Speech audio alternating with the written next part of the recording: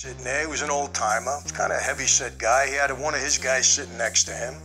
And uh, my friend introduces me. He says, Michael, this is Amigo Nostra Mario. He's your captain with the Genovese family. I say, Mario, how you doing? We sit down. I says, Mario, what could I do for you? He looks at me and he says, you got some Jew around you named Jerry Zimmerman?